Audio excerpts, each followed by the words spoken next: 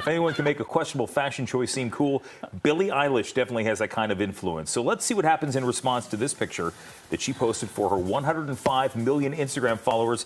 She's wearing jorts, jean shorts.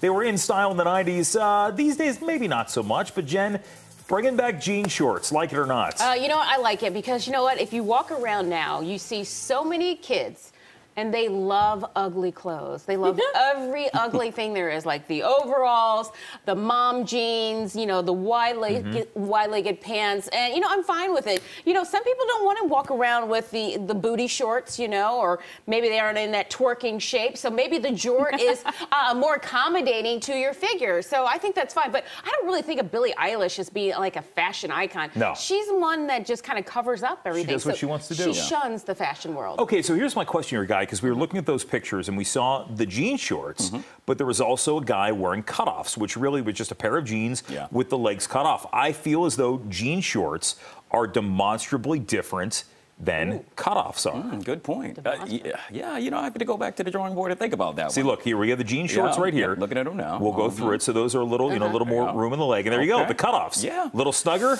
Yeah, I wouldn't wear them. Uh, but, uh, you know, I think to what, 2080, I'm not going to be around during that time as well. Maybe we'll be on Mars. If you could wear shorts, people will still wear jean shorts. I don't think they're ever going to go out of Yeah. style. I mean, you got what, dad jeans, mom jeans. It doesn't matter. I mean, people love jeans. These will always be cool. Uh, but I'm with Jen. I don't really consider her a, a fashion icon, No. Billie Eilish. Uh, It just it doesn't strike me as such. But were jorts ever really cool? Like that's my question. Like everyone wore them at some point in time, especially they were, especially for the men. But I'm not sure they were cool. yeah. I don't know. I the minute you start them. rolling them up, I got a problem.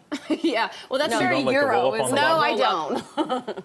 I think uh, I remember having a pair of pleated jorts back in like the uh, Pleated back in like the early 90s. You oh had yeah. dad jorts. I well no those were those were the universal jorts at the time. That was what whatever husky size Sears had.